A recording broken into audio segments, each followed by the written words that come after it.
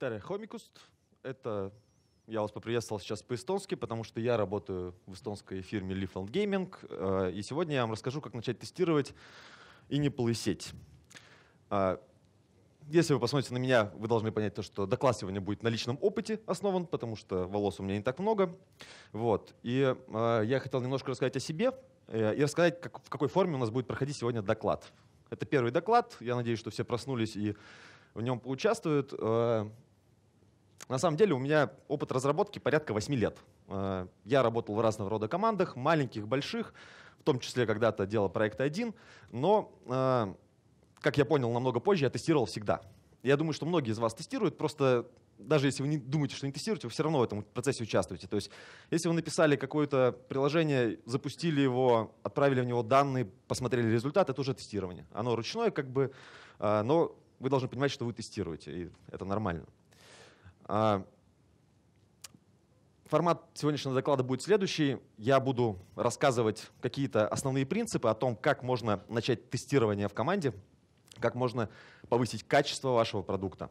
А, Но основные мои языки, на которых я пишу, это PHP и Go. И это языки, а, которые связаны с ООП неразрывно.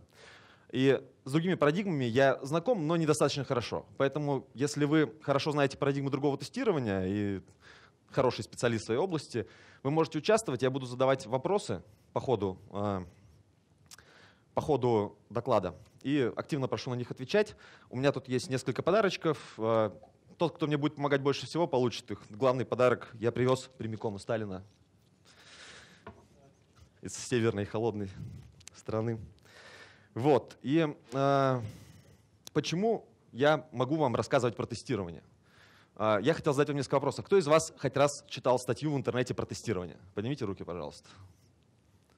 Классно. А кто из вас читал книгу, в которой была глава про тестирование? Уже неплохо. А кто прочитал прям книгу по тестированию специализированную? Классно. Ну, у нас прям, смотрите, у нас достаточно много экспертов. Э, Я прочитал несколько, поэтому я считаю, что я могу говорить с вами об этом с позиции того, что я что-то в этом знаю. Вот. А, Также я работал перед этим в Авито, поэтому а, опыт, который я буду сегодня вам передавать, а, это опыт такой предыдущего работы в маленьких командах, работы в большой команде и текущей работы с компанией игровой, где основная цель, основной продукт основан на деньгах, и поэтому тестирование для нас очень важный аспект, и мы его широко используем. А, Данный доклад больше рассчитан на тех, у кого с тестированием не очень хорошо. То есть кто начинает строить тестирование в команде или у кого есть какие-то пробелы.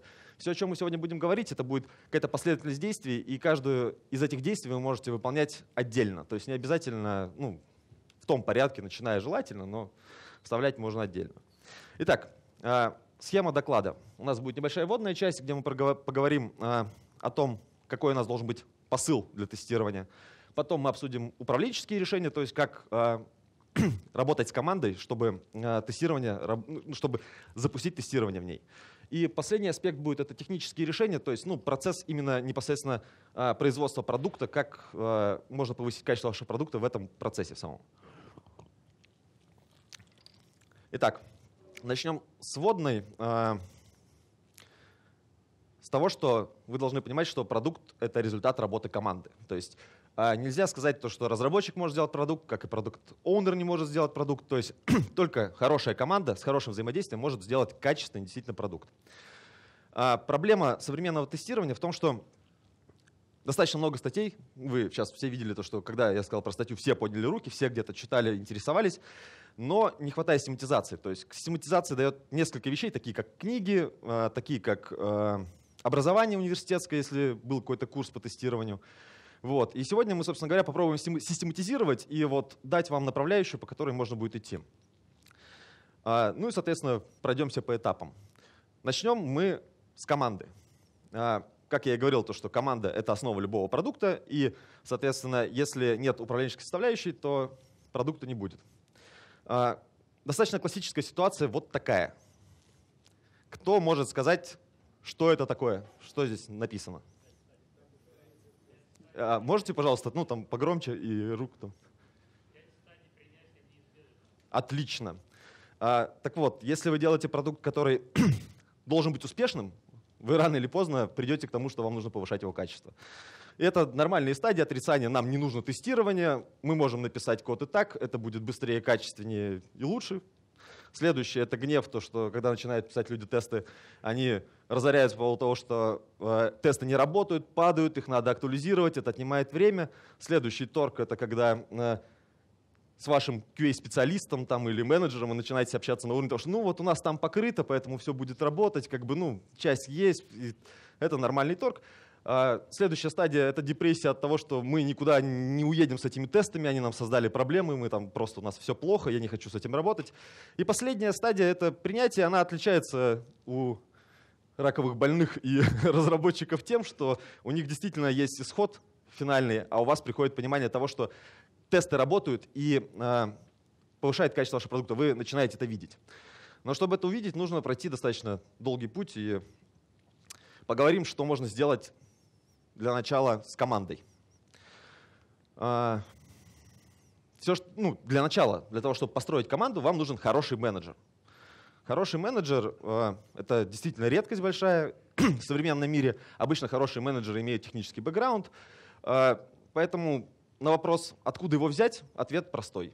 Ну, как бы, если у вас его нет, нужно его растить среди ваших специалистов, которые хорошо знают продукт.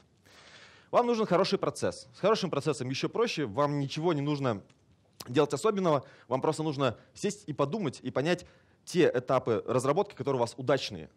Возможно, автоматизировать их, использовать CI, прийти к CD, зеленому транку, и жизнь будет прекрасной. А, третий аспект — это в команде должно быть желание повысить качество. Если разработчик не хочет писать тесты, то вы его не заставите никак. Он будет избегать это максимально. Это нормально со стороны психологии человеческой. А, как бороться с этим? Ну, либо мотивацией, либо показывать а, результат, ну, то есть показывать то, что тесты действительно влияют на качество, ну, либо, к сожалению, это плачевный такой способ. Если человек действительно токсично влияет на команду, его, скорее всего, придется уволить. Иногда это лучшее решение в такой ситуации. А, ну и, соответственно, последняя вещь — это необходимость повысить качество. Я делал сайт своей бабушки, которая выкладывает там фотографии своих пирогов с рецептами. Я думаю, что вы понимаете, что тестирование ему не нужно. Основной трафик, к сожалению, на этом сайте создаю я, поэтому как бы я считаю, что вы должны явно понимать те элементы вашего приложения, которые требуют тестирования, а которые не требуют повышения качества. Итак, первый вопрос. Вы мне можете помочь, если среди вас есть управленцы, что вы можете еще посоветовать людям, которые хотят построить э, у себя тестирование? Поднимайте руки, говорите.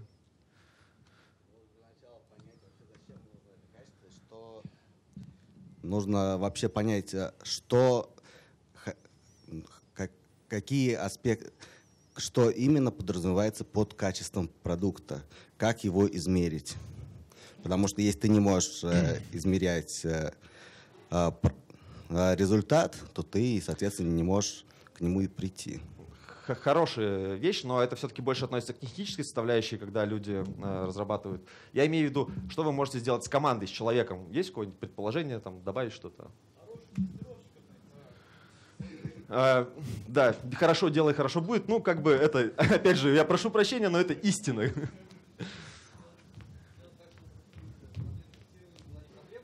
Отдельной команды тестировщиков. А, сделать так, чтобы проблема тестирования была не проблемой отдельной команды тестировщиков, каких-то сторонних людей, а, а проблемой программистов, которые пишут код.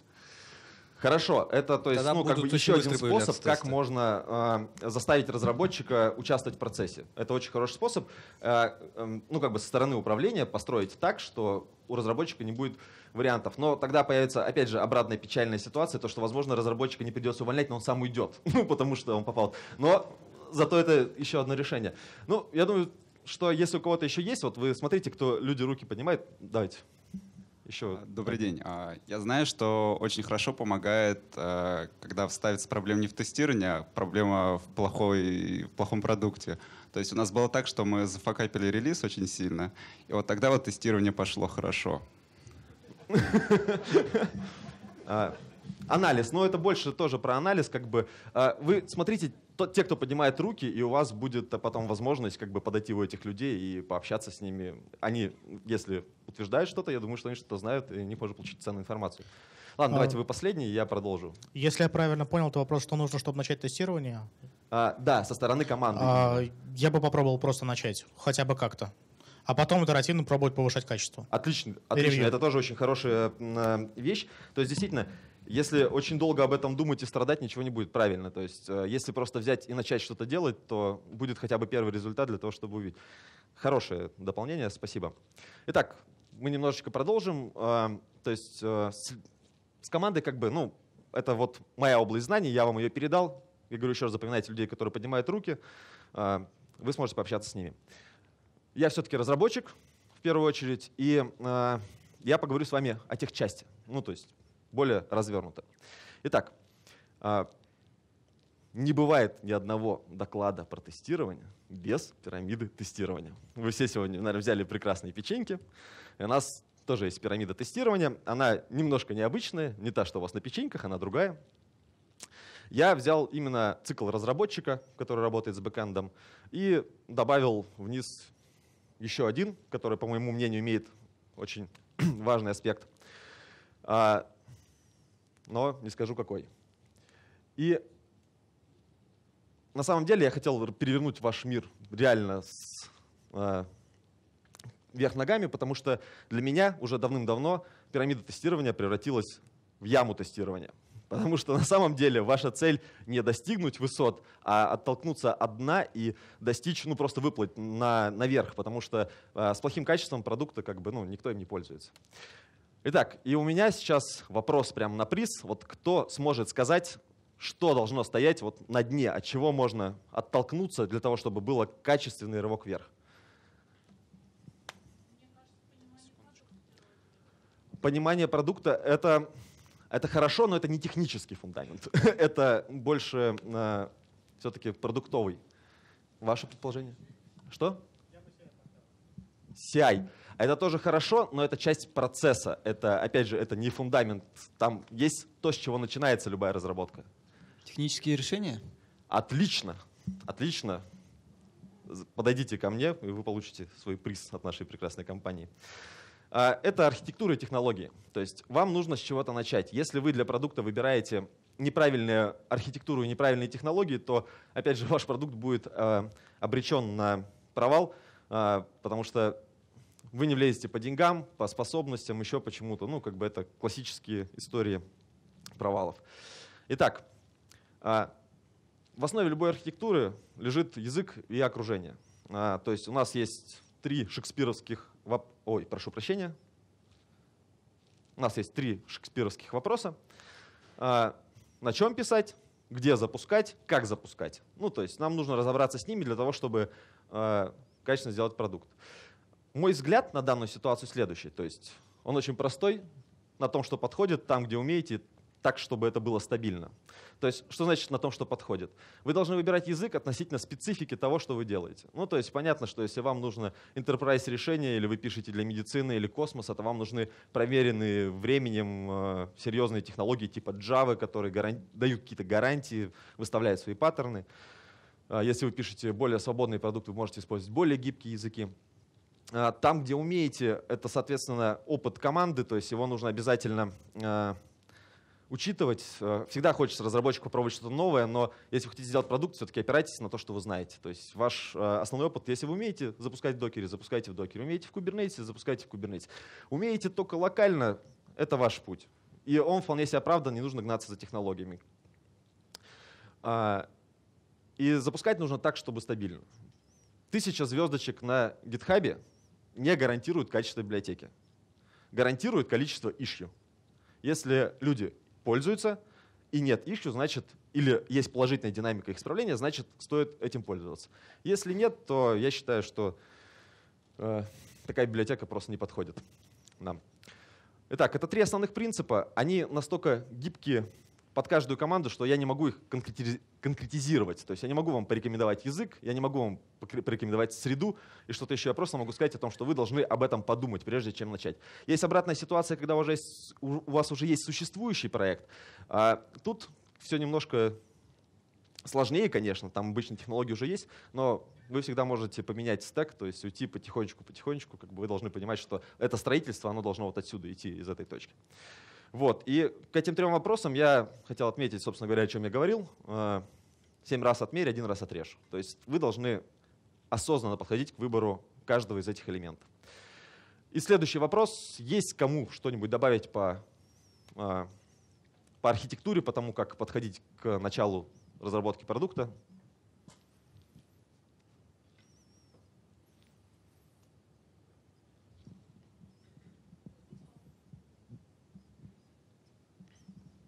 Мне кажется, что нужно, во-первых, понимание, куда будет двигаться продукт, потому что в какой-то момент э, получится так, что вы будете костырить, костырить, а дальше уже не сможете, вам придется менять спек технологий.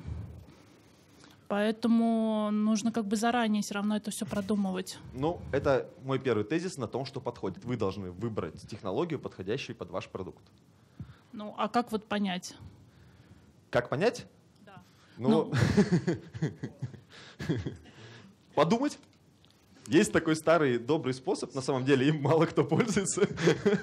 Нет, я без шуток, на самом деле подумайте о том, что зачастую вы, э, решая какую-то проблему, слушаете музыку, смотрите сериал на фоне, еще что-то. То есть у вас э, наверняка вы редко садитесь за стол, просто убираете все с него и начинаете думать про проблему. На самом деле, без шуток, это хороший способ как бы освободиться от всего окружающего и сосредоточиться на чем-то конкретном.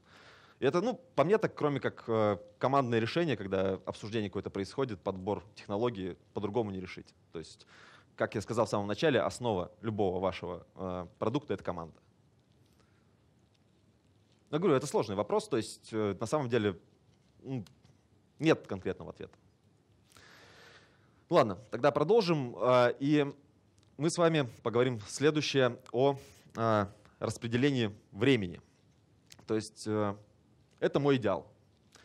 У вас э, процесс разработки должен быть разбит всегда на три части. Это этап проектирования, этап разработки и этап тестирования. Соответственно, проектирование и тестирование занимает основную, э, основную массу времени. Сейчас мы поговорим про каждый этап, и я объясню почему. Итак, первый этап — это проектирование. Проектирование состоит из э, множества разных маленьких этапчиков. Э, я перечислю основные, которые я использую в своей разработке, потом вы сможете добавить свои. Итак, первый этап э, — это постановка задачи. На самом деле все разработчики не любят Jira. Кто не любит Jira? Поднимите руку. Ну, любой трекер. А что, все остальные любят? Серьезно? Не, не, просто я любой трекер, не Jira, а любой трекер, я просто отлично, это просто классно, потому что если у вас понимание, то, того, есть понимание того, что э, таск пишется на самом деле, мы мерили специально, 30-40 секунд. Это title, description, типа расстановка приоритетов, эпика, всего остального. 30-40 секунд занимает таск, который вы знаете, как сделать. А, есть проблема, вы не знаете, как делать задачу. И вот тогда таск занимает постановка очень долгое время, и вот этот процесс разработчику не нравится. Но а, если вы не знаете, как его делать, то стоит, опять же, сесть и подумать над ним. И тогда постановка задачи, которая растягивается на время, начинает быть первым этапом проектирования, когда вы обдумываете, как вы собираетесь решать эту задачу. А, Второй аспект. а, При выборе архитектуры, выборе подхода для решения конкретной задачи хорошо принимать это решение коллективно. А, На самом деле, как бы в этом процессе, чем больше людей обычно, тем лучше. Но вы должны помнить всегда о том, что должен быть регламент такого мероприятия. То есть, предположим, вы каждому из э, людей, которые предла- предлагают свое решение, даете по 5 минут высказаться, потом перекрестные вопросы какие-то, еще что-то. То есть у вас должен быть регламент, чтобы это не превращалось в какую-то свалку просто, там, типа споры и так далее. Вот. Это этап второй, который, я считаю, необходим команде. А, третий этап, он опциональный, прототип. Вот это зависит от того уже как раз-таки, насколько вы хорошо смогли поставить задачу, насколько вы четко знаете, что вы хотите сделать. Если вы не уверены, у вас есть только предположение, смело делайте прототип. Прототип — это вещь, которую потом в 99% случаев вы должны смело выбросить. Не бойтесь писать код, чтобы его выбросить. Это этап, который даст вам понимание, как развивать дальше данную часть приложения. Третий этап в моем мире, это разработка интерфейсов. А, Мы практиковали такую вещь в бытность, когда я был тимлидом. а, Мы садились а, со всеми разработчиками, которые будут заниматься реализацией, и накидывали общую структуру модуля, сервиса, ну, как бы. И реализовывали интерфейсы, и тут появляется опция TDD. То есть, если вы проработали все интерфейсы, вы на самом деле даже тесты можете написать сразу. Вы можете сказать, я хочу от данного модуля то, то и то, и как бы он должен мне вернуть то. Они будут падать по мере реализации, уже будет происходить а, стабилизация этих тестов, то есть озеленение постепенное. А, вот это те пять этапов, которые я использую. Причем, если вы используете первые четыре, то магическая вещь TDD, про которую многие говорят, то, что она никогда не работает, она может заработать. Не гарантированно, но может. Поэтому я написал, что э, я сказал вам то, что э, TDD-тестирование юнит, оно опционально в данной структуре. А, Итак, кто может добавить еще какой-то этап проектирования, который может улучшить качество продукта?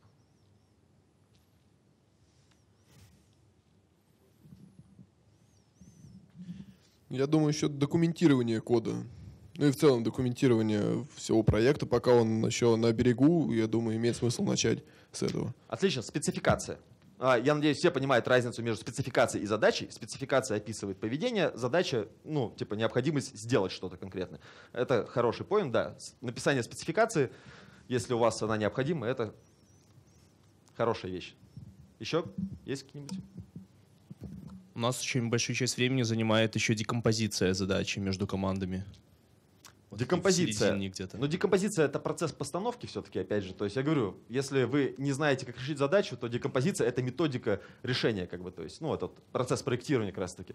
Обычно правильно сформированные задачи, доведенные, ну, до оптимальной декомпозиции, соответствует одна задача, один маленький модуль. Ну, то есть можно вот так разделить. И говорю, это, ну, скорее процесс, поэтому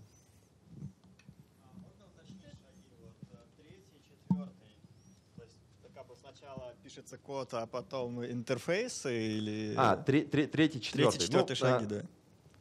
Прототип, я сказал, это вещь опт- опциональная. То есть прототип обич- обы- обычно пишется максимально мусорно. То есть, ну, вы пишете как угодно, что угодно, вам нужно проверить предположение. Например, а, то, что данный паттерн будет оптимально реализовывать какую-то задачу. Или то, что данная технология, которую вы взяли, она соответствует вашим требованиям. И обычно вы не упираетесь в качество написания кода. И этот прототип, я говорю, скорее всего, ну, в команде без великой организации, то есть кода, где там люди просто боги, программисты. Джефф Дин, да? Знаете, кто такой Джефф Дин? Ну, есть такая шутка в Гугле, есть Джефф Дин, такой программист очень известный, который, э, про которого шутят, то, что он компилирует код, чтобы проверить компилятор, а не свою программу. Вот, э, то есть как бы прототип — это промежуточный этап опциональный. То есть вот после того, как вы сделали прототип, вы можете его выбросить и вернуться уже к полноценной разработке, когда вы знаете, что и как хотите сделать, расписать эти интерфейсы, опционально TDD, и уже следующий этап разработки будет. Еще? А, Здравствуйте. А у меня вот такой вот вопрос. Вот сейчас все А, этапы... вот- извините, пожалуйста, я забыл уточнить. Вопросы давайте в конце, а сейчас все-таки мы поговорим... Не, ну, вот мне просто есть что добавить вот в проектировании. Вот когда на этапе проектирования появляется вот именно для конечного пользователя UX, UI, вот вся эта часть, что вот, ну, мы делаем великолепно классную продуктивную программу, которая там будет идеально к своим кодам, ее оттестировали, а конечный пользователь не сможет с ней пользоваться. На каком этапе проектирования начинается вот именно для пользователя конечного проверка какая-то?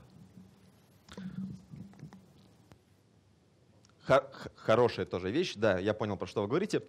Это, э, собственно говоря, само проектирование. Ну, то есть это этап, когда вы анализируете, предположим, рынок какой-то, да, и э, пытаетесь понять потребность. Хорошо, давайте добавим может, здесь пере- в начале, если- перед всем, извините, 5 секунд, должна быть определение потребностей. Вот это хорошая вещь, да, на самом деле. Понять, что нужно сделать. Ну, то есть как бы не что нужно сделать, а проанализировать, то есть провести реально какой-то, возможно, опрос, собрать фокус-группу, еще что-то. То есть это хороший подход, но, опять же, он, наверное, не большинству компаний недоступен либо в силу сегмента узкого, либо в силу того, что там это достаточно дорого. Извините. Ну, в, в конечном итоге так и описал. Я просто хотел э, сказать, что в качестве возможные добавки, то, что в прототипе можно сразу давать, прототипы можно сразу давать, например, потенциальным конечным пользователям. Ну, это как раз то, что Да. ты вот Да, только что сказал.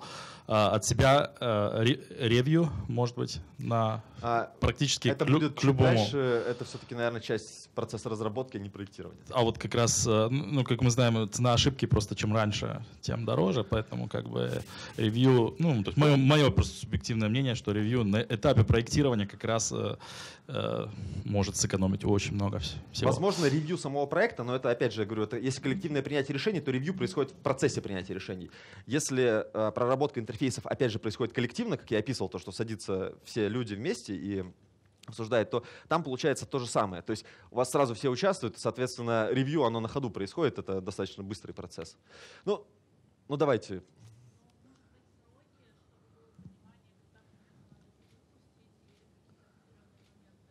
Отлично, эстимейты. Э, Estimation, да, это часть проектирования, и она действительно очень важная. Ну, опять же, это в процессе коллективного принятия решений должно быть, то есть есть всякие планинг-покеры и так далее, то есть ну, разные методологии этого, есть указ сверху, тоже вполне себе приемлемый вариант. Вот, ну, спасибо, извините, п- просто мне нужно еще рассказать. Очень классно, что вы активно участвуете, на самом деле, я очень рад.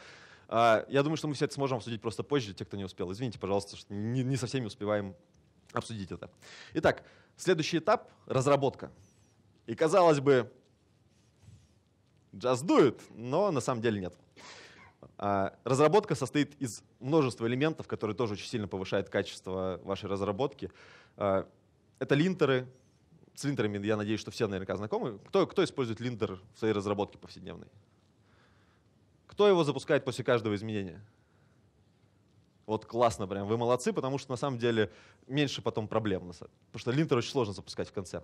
Итак, стиль кода. Стиль кода, сформированный в команде по общим принципам, очень хорошая вещь, потому что помогает людям максимально, э, максимально легко читать э, чужие произведения. И э, это повышает скорость поиска ошибок, это повышает разбор э, ситуаций каких-то конкретных. И на самом деле, если у вас правильно сформированный стиль и, про- ну, и какие-то принципы, соглашения, по которым вы разрабатываете, то э, очень часто, если человек за них выходит, то, скорее всего, он принимает неправильное решение. Потому что вот эти принципы, они обычно формируются из опыта, а опыт, он вещь такая серьезная, помогает вот, соответственно, логирование, трассировка метрики. Я собрал их такую в общую кучку. На самом деле каждый аспект можно обсуждать на отдельный доклад. Есть структури- структурное и неструктурное логирование, есть разные типы трассировки, активное, пассивное, есть э, много разных методик сбора метрик. Э, Но вы должны понимать, что вы должны на это закладываться. Я могу вам привести очень классный пример. Я сейчас в основном пишу вот, ну, прям сейчас на Go.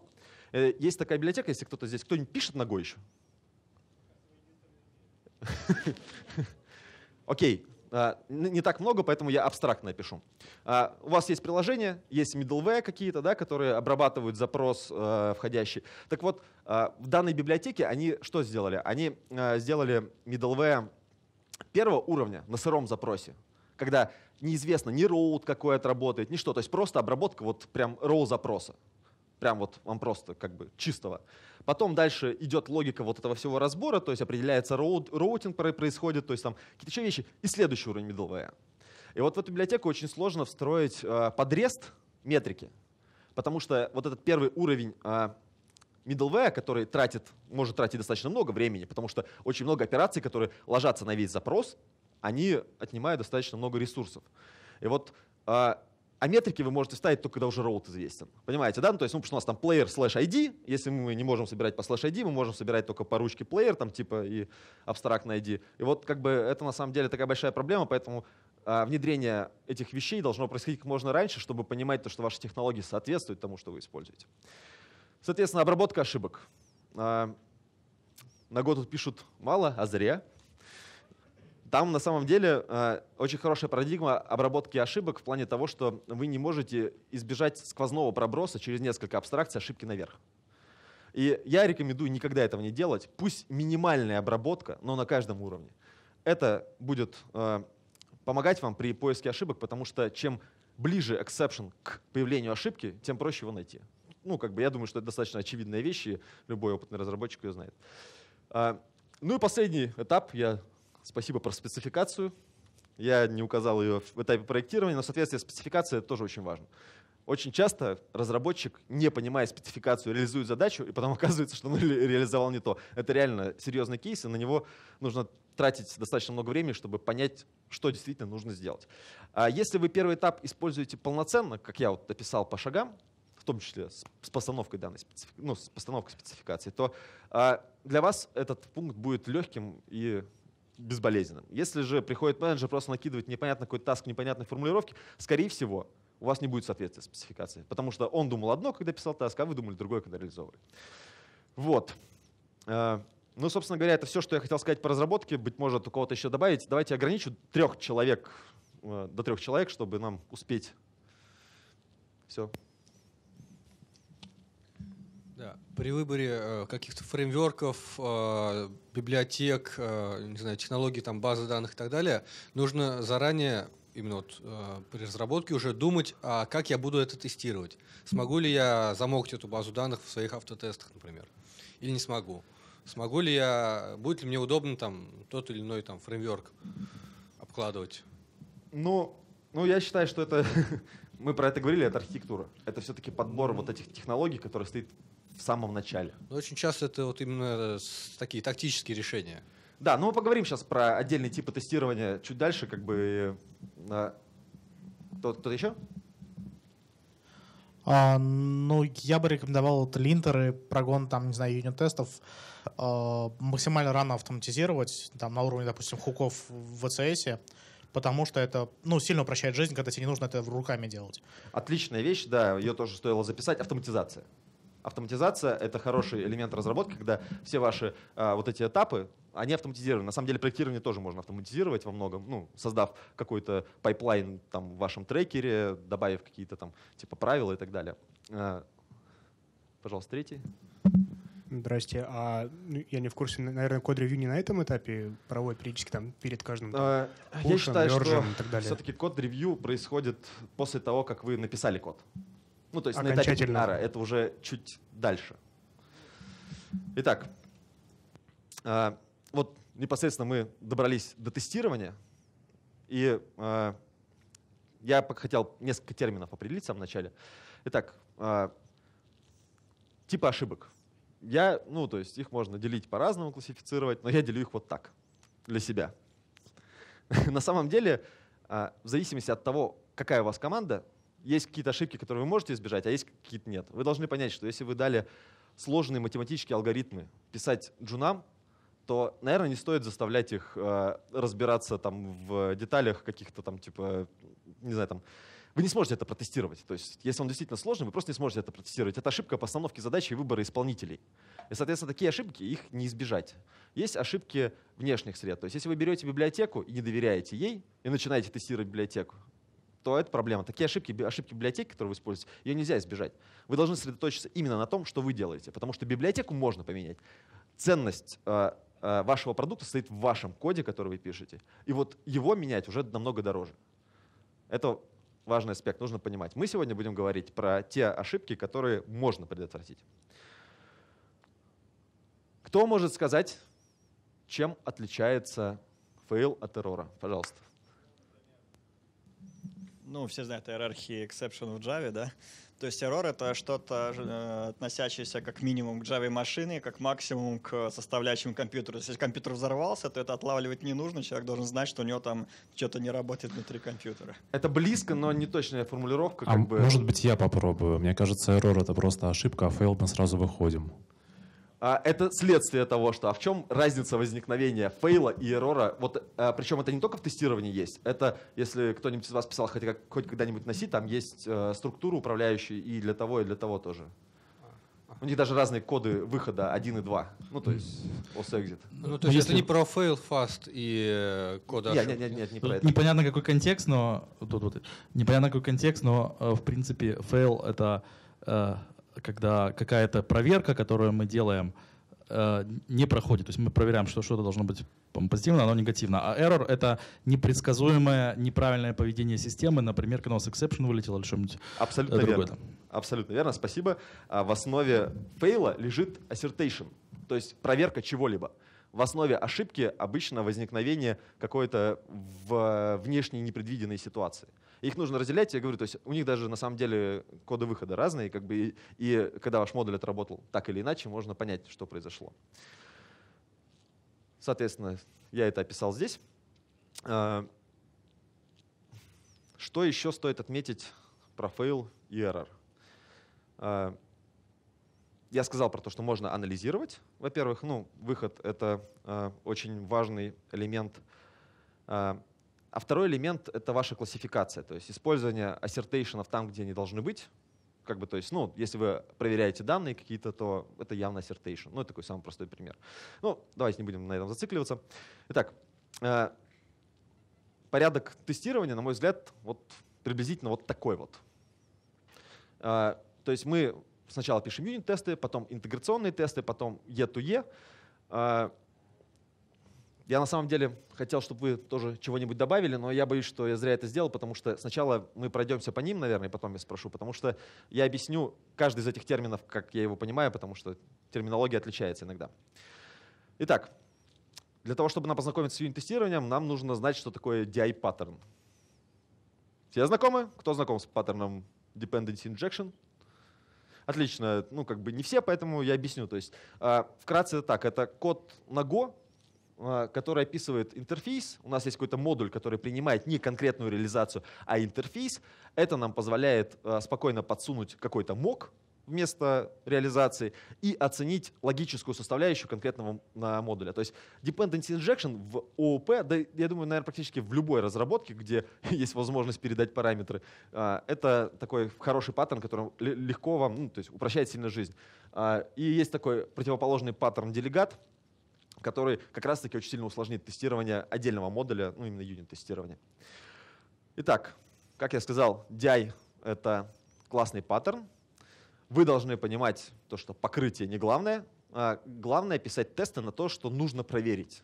То есть а, хвалиться покрытием можно бесконечно, можно стремиться к 100%, но это практически недостижимо. А, помните о том, что тестировать нужно то, что нужно тестировать. Третья вещь — это многие разработчики ошибочно считают то, что тесты, они занимаются проверкой. На самом деле они занимаются двумя вещами. Проверкой и фиксацией э, поведения. Вот вторая вещь, фиксация поведения, очень легко описывает геттер, который вам э, возвращал какое-то там неинициализированное там, ну, значение, да, если, э, предположим, оно не было заполнено да, в поле, а потом неожиданно кто-то в него как раз assertation какой-то вставил. И для вас неожиданная ситуация. Если вы, этот геттер будет покрыт тестами, то вы сможете увидеть эту ситуацию на этапе тестирования, а не в процессе работы. Не забывайте про проверки, шутки шутками. Я лично сам видел тесты, где не было ни одного осерта. Серьезно. И это было не единожды, поэтому вот это, когда написали тест, проверьте то, что есть осерт. И один тест, один предмет проверки. А, идея в том, что чем а, маленький, чем меньше тест и проверяет меньшую область, тем проще потом анализировать, что произошло. То есть тем быстрее вы найдете причину ошибки, а, нежели в случае с огромными длинными тестами, которые падают непонятно где. А, итак, по юнитам есть кому-нибудь быстро что-нибудь добавить? Ну, только быстро очень, потому что у нас время уже конкретно поджимает.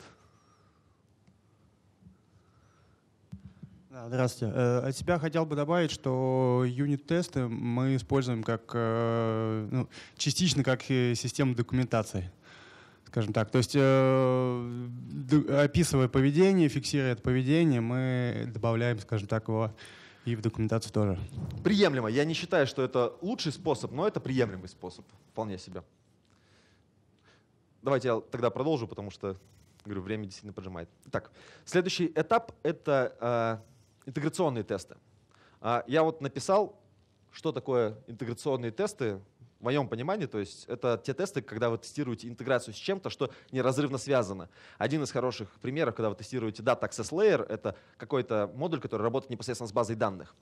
А, считается, ну, то есть есть много методик тестирования таких систем, то есть фикстуры, там еще что-то, но лично я считаю то, что а, тестирование фикстур очень часто приводит к тому, что вы тестируете фикстуру, а не код. И, соответственно, а, лучше бы тестировать в совокупности все это. Интеграционные тесты достаточно простые, они очень похожи на юниты, но есть особенности. Поскольку у вас появляется интеграция, вам нужно помнить о том, что запуск в разных средах будет по-разному, то есть локально одно, на CI другое, а, где-то там еще третье, то есть, возможно, ваши тесты там типа работают на продакшене.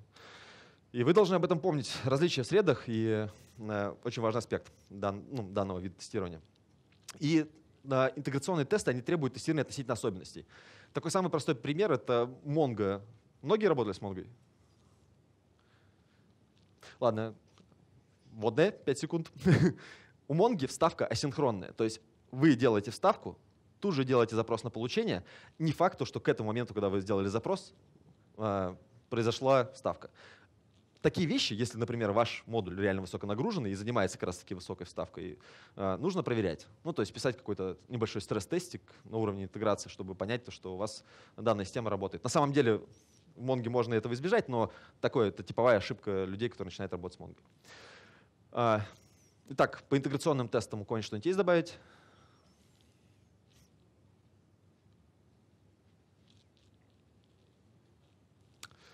Хорошо.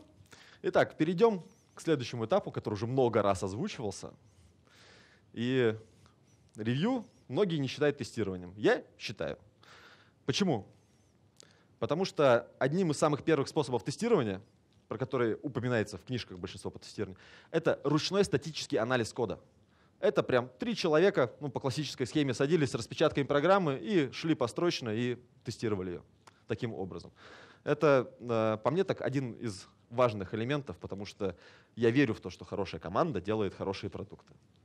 Дружите, старайтесь э, проводить ревью как можно более атомарно, более качественно. И есть, есть несколько основных вещей, которые э, нужны для качественного ревью. Это, во-первых, у ревью должны быть правила какие-то обязательно, а, потому что, ну, иначе это превращается, опять же, в какую-то мешанину, то есть регламент. А, Ревью должно соответствовать требованиям продукта, то есть, опять же, модуль малозначительный может подвергаться более слабому ревью, какой-то серьезный модуль, который несет критическую уязвимость, может привести к критической уязвимости, должен более подробно подвергаться, потому что ну, это должна быть какая-то шкала. Вполне нормально, когда в ревью человек ставит, например, цифру приоритетности того, насколько хорошо нужно проверить эту часть. Причем человек, который выставляет на ревью, сам должен быть инициатором, потому что это он заинтересован в том, что вы его код был качественный.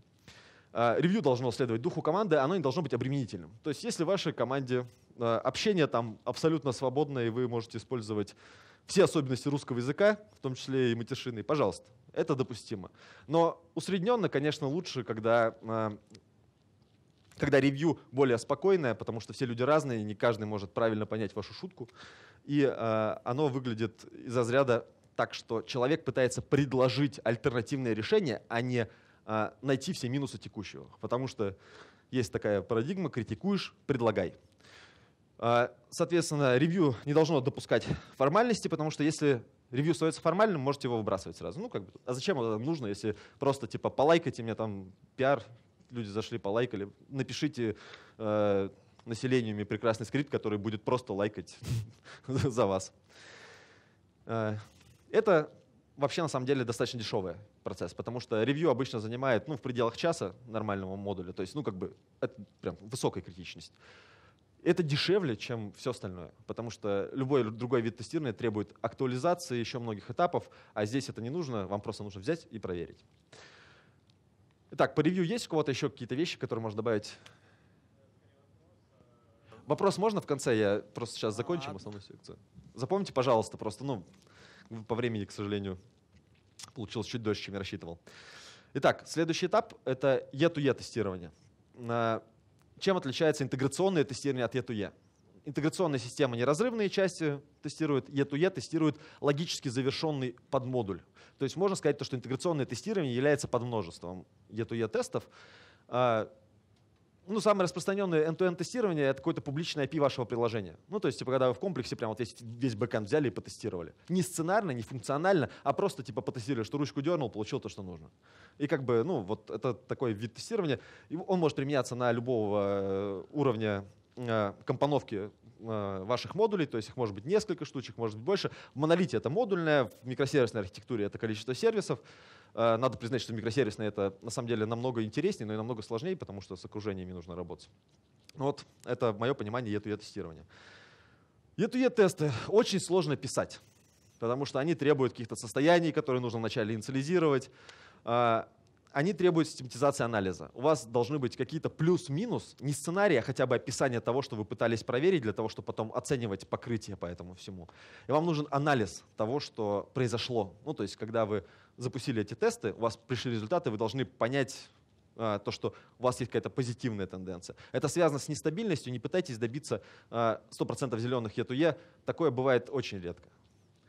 Нормально определить процент выполнения а, тестов, которые вас удовлетворяет. То есть соответствует уровню качества, который вы требуете от вашего приложения. Трудно работать с окружениями, опять же, это еще сложнее, чем у интеграционных тестов, потому что там окружение все сложнее и сложнее, вам нужно поднимать все больше и больше. Э, и, соответственно, они лучше всего отражают ситуацию. То есть, если у вас нет времени, вам не дает компания на тестирование, это самый простой способ хоть как-то проверить то, что системно у вас все работает. Вот. По end-to-end тестированию есть у кого-нибудь что-нибудь добавить?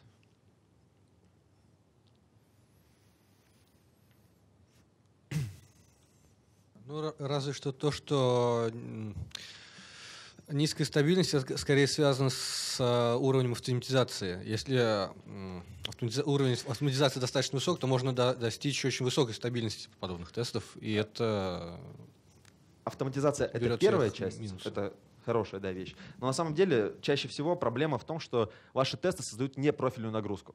Простой пример — это пользователь, у которого в нормальной ситуации может быть 2-3 телефона. А когда вы тестируете на одном пользователе и загоняете ему миллион телефонов, ваша табличка рушится, потому что, ну, как бы она исчерпала себя, и когда вы забираете пользователя со всем его телефоном, у вас появляется... Понимаете, да, эту идею? То есть обычно профиль не соответствует реальности, и как бы вот стабильность кроется чаще всего, ну, из моего личного опыта как раз-таки в этом. Еще кто-нибудь один хочет добавить что-то? Ладно, все, поедем дальше. Мы подходим уже к концу, потому что E2E, как вы видели, был э, в моей, моей яме тестирования уже прям перед самой поверхностью. А, соответственно, есть альтернативы. Тестирование контракта и функциональные тесты. Чем отличается функциональный тест от E2E? Я сказал, а, функциональный тест имеет сценарий. Ну, то есть поведенческий сценарий, который описывается и проверяет функцию со стороны пользователя. А, тестирование контракта тут обязательно вам нужно проверять то, что ваши модули правильно взаимодействуют и правильно обмениваются данными. То есть это, опять же, там, микросервисы микросервисной архитектуры или модули внутри вашего приложения, там какого-то монолитика. Да? А, в чем плюсы? Плюсы в том, что, скорее всего, это уже не ваша проблема. У вас есть quality assurance специалист, который сидит как-то там тестирует, а, тестирует ваше приложение. А, вам не нужно писать вот эти все тесты от начала до конца, вроде как снаружи проверили этого достаточно, но есть обратная сторона. Если вы хороший разработчик, ответственный, ну, вас устроит то, что вы выпускаете то, не зная что. То есть, ну, как бы я выпускаю продукт, который потом получу на него инвалид от... Мне лично совесть не позволяет так делать, поэтому я пишу тесты. А, ну и вторая вещь, который является огромным минусом, это цена ошибки. Если вы уверены, ваша команда действительно высокоорганизованная и скачанных специалистов стоит, это может у вас сработать. Но, скорее всего, э, так, так, так, так бывает достаточно редко. Э, скорее всего, будут инвалиды от э, отдела Quality Assurance, ну или какого-то там типа приемщика, заказчика, еще что-то. И это будет очень дорого менять. То есть цена изменений очень высокая, потому что поздняя стадия. Сегодня кто-то упоминал об этом, о том, что чем позже стадия, тем дороже изменения. А, есть еще несколько методик альтернативного тестирования. Но это не совсем тестирование. Я сегодня про тестирование говорю, если, как вы заметили, уже больше про повышение качества. Я вот предлагаю еще несколько методик, которые я лично в своей жизни использовал, и э, они достаточно успешны. Это парное программирование, оно действительно работает. В моем понимании, любую сложную задачу стоит делать вдвоем. Прям ширина взгляда на ситуацию увеличивается не в два раза, а мне кажется, сразу многократно, потому что в процессе диалога появляется очень много разных мнений. А, соответственно, ручное тестирование не икшайтесь того, чтобы пощелкать свою приложуху и понять, э, работает она так, как вы хотели или нет. Ну и, соответственно, один, одна из методик — это, например, тестирование на сегмент через релиз на сегмент. То есть э, в букинге, по крайней мере, раньше было, сейчас, наверное, я думаю, что тоже У них очень много пользователей, они могут использовать canary э, релизы, выкатывают на какой-то маленький лояльный сегмент, проверяют на нем, если что-то пошло не так, получают какой-то плохой фидбэк, они откатывают обратно все. То есть выкатили с ошибкой, у пользователя получается там, ну, какого-то процента по метрикам смотрит, не получается э, залогиниться, например, да, ну, через новую форму, и они просто взяли, откатили и вернули всем обратно. Вот. Есть какие-то еще методики альтернативного тестирования, которые вы знаете, которые могут помочь людям? З- Заказчикам? Ну, это как раз-таки через типа релиз, ну, как бы, ну да, да, можно.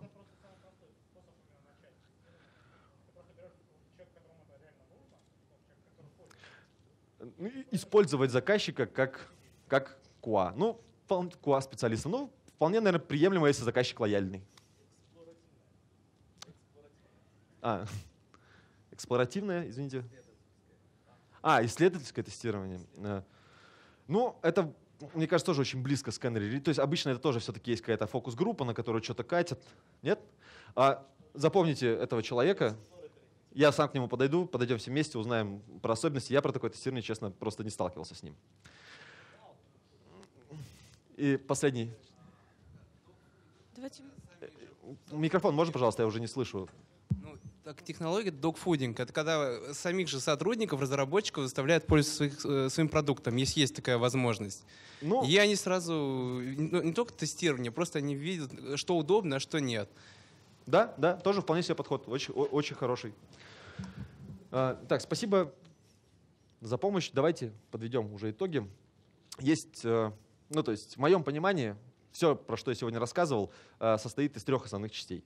Первая часть — это последовательность действий. Вот все, что я рассказывал, в моем понимании. Если у вас где-то пробелы есть в тестировании, если нет, начинайте сначала. Если есть пробелы, то тоже от начала старайтесь эти кирпичики вставлять. Ну, то есть, как бы последовательность этих действий, она должна идти снизу. Из ямы можно выбраться только оттолкнувшись от дна, как я уже сказал. А, Вторая вещь — это команда. Я сегодня много раз упомянул о том, что если у вас команда плохо коммуницирует, э, не знаю, то есть у нее не хватает там какого-то единства, понимания того, что они делают, ценностей, то это действительно сильно влияет на вашу разработку, и вы должны доверять своей команде, уважать своих коллег и работать действительно слаженно. И последний э, аспект, я его не так хорошо освещал ну, в процессе, это анализ. Но анализ э, — это вещь очень сложная, и, опять же говорю, требует отдельного, скорее всего, доклада. Как понять то, что вы тестируете правильно? Ну, то есть это сложно, но не забывайте об этом. Для этого есть разные вещи, есть миллион продуктов. Э, Я никаких сегодня продуктов, ну, кроме Jira, не упомянул. Э, И их потому что действительно множество, и перечислять их очень долго. После вы можете подойти, я расскажу про те, с которыми я работал. Вы можете спросить у людей, которые тут поднимали руки, отвечали, они, скорее всего, тоже работали, и узнать о том, какие можно технологии использовать для того, чтобы какой-то вид тестирования реализовать. Итак, спасибо всем огромное за то, что помогли мне рассказать этот доклад, поучаствовали в нем. Я очень рад, что вы активное участие принимали. Ну и секция вопросов. Я думаю, что у нас времени, наверное, не очень да, осталось, поэтому давайте... да, давайте, уже- наверное, я включу режим тирана, и мы э, зададим ровно один вопрос, который мы откладывали, потому что человек готовился. А, да, про- простите, да. Да, вопрос был очень маленький. Эм, Сколько ревьюеров можно добавлять в ревью? Потому что у нас э, люди в ревью добавляются из разных команд, у всех разные стили, и начинает сыпаться э, ну, тонны исправлений, которые там могут на день буквально затянуться. В том случае, если у вас команды работают независимо с разным стилем, с разными технологиями и так далее, в моем понимании э, ревью должно проходить внутри команды только. То есть для того, чтобы ревью было удачным, у вас должно быть общее видение того, как вы его хотите делать. Как я говорил, потому что должен быть регламент. Вот если люди, каждый пытается сделать, как он хочет, у всех взгляд на ревью от э, это формально посмотреть то, что там похоже на реальность, до того, что я прочитаю каждую строчку, подтяну себе ветку, запущу и, возможно, даже еще тест допишу, чтобы проверить то, что это работает. Вот, вот ну прям я встречался с разной позицией. Я считаю, что только регламент решит данную проблему. Еще у вас не было нигде упомянута подготовка тестовых данных. На каком этапе этим можно заниматься? Подготовка тестовых данных,